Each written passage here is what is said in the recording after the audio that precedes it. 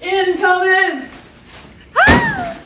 Miss Croissant. Miss Croissant, I said incoming. How is that my fault? Go to the office right How is that my fault? Hey everyone, don't forget to come to the football game tonight and bring that West Side spirit. Coach Johnson, I can't wait to see you at the game tonight. Brad, Chad, what's up, my boys? Whew. See how tonight at practice. Hey Buster, that's my seat. I don't see your name on it. Get out of it. Fine, take it, take it. That's what I thought. Jeez.